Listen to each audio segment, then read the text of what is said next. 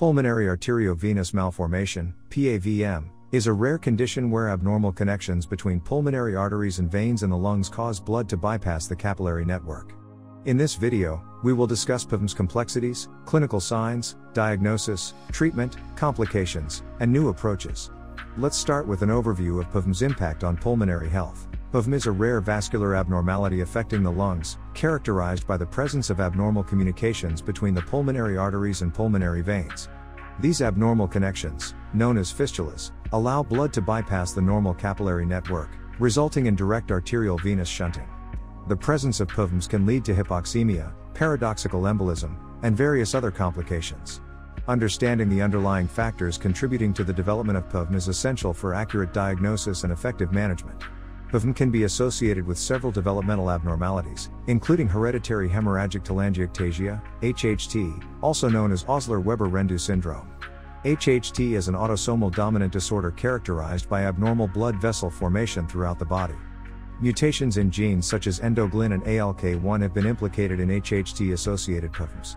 Additionally, rare hereditary disorders like capillary malformation, arteriovenous malformation, CMAVM, syndrome, and some forms of pulmonary hypertension may also have PAVMs as a component. It is crucial to identify these hereditary factors in patients with PAVM to guide genetic counseling and screening for family members. To understand the hemodynamic changes associated with PAVM, a comprehensive understanding of the anatomy of the pulmonary vasculature is vital. The pulmonary circulatory system consists of pulmonary arteries, which carry deoxygenated blood from the heart to the lungs, and pulmonary veins, which transport oxygenated blood from the lungs back to the heart. The intricate network of blood vessels within the lungs facilitates gas exchange. PAVMs disrupt this normal circulation, leading to various physiological consequences. In normal pulmonary circulation, blood flows through the pulmonary arteries, facilitating gas exchange in the capillary network. However, in PAVMs, the abnormal connections between the pulmonary arteries and veins create a right to left shunt. This shunting allows deoxygenated blood from the arteries to bypass the pulmonary capillaries and mix with oxygenated blood in the pulmonary veins. Consequently, oxygen saturation levels are decreased, leading to hypoxemia. The clinical manifestations of PAVMs can vary widely, ranging from asymptomatic to severe. Patients may present with dyspnea, cyanosis, exercise intolerance, clubbing, and recurrent paradoxical embolism, leading to conditions such as stroke or brain abscess. Auscultation may reveal a characteristic continuous murmur known as a bruit. It is essential to recognize these clinical signs to initiate appropriate investigations and management strategies. The diagnosis of PAVMs involves a combination of clinical evaluation, imaging, and screening techniques. Chest x ray may provide initial clues, such as visible vessels or parenchymal abnormalities. However, imaging modalities like contrast enhanced computed tomography, CT, magnetic resonance imaging, MRI, and angiography are more sensitive and specific for detecting PAVMs. Additionally, bubble contrast echocardiography is performed to confirm the presence of right to left shunting in suspected PAVM cases. Various classification and grading systems have been developed to assess the severity and complexity of PAVMs. The Curacao criteria are often used to diagnose HHT, which includes the presence of at least three of four clinical criteria.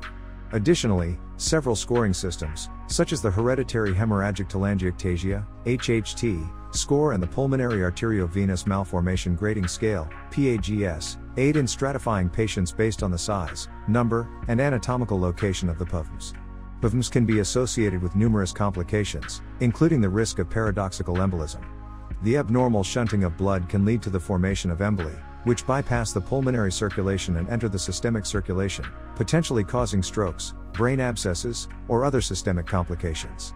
Additionally, PAVMs can contribute to the development of pulmonary hypertension, right heart dysfunction, and infective endocarditis. The management of PAVMs primarily focuses on preventing complications and improving the oxygenation status. Embolization techniques, including transcatheter embolization or coil placement, are the gold standard treatment for PAVMs. Embolic materials, such as coils or vascular plugs, are inserted into the abnormal vessels, causing occlusion and redirecting blood flow through the normal pulmonary capillaries.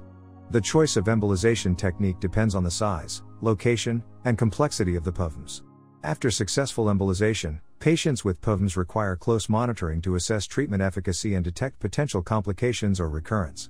Regular follow ups, including imaging studies and pulmonary function tests, are essential to ensure optimal patient outcomes. genetic counseling and screening are recommended to identify hereditary factors and provide appropriate support and guidance to patients and their families. Pregnancy presents unique challenges in the management of PAVMs, as physiological changes increase the risk of complications. Pregnant women with large or complex PAVMs may experience worsening hypoxemia and an increased risk of paradoxical embolism. Close monitoring and interdisciplinary collaboration between pulmonologists, obstetricians, and neonatologists are vital to ensure the well being of both the mother and the fetus. Several emerging therapies and innovations are being explored to improve the management of PAVMs. These include the use of novel embolic materials, minimally invasive techniques, targeted therapies, and genetic interventions. Ongoing research aims to enhance treatment outcomes, reduce procedural risks, and develop personalized approaches for patients with PAVMs. In conclusion, correctly diagnosing and effectively managing pulmonary arteriovenous malformation, PAVM, is crucial. This video overviewed key aspects of PAVMs, including their development, hereditary factors, pulmonary vasculature anatomy, symptoms, diagnosis, treatment options, and complications. Advances in imaging, classification, and embolization have improved management, but more research is needed for optimal outcomes and potential therapies.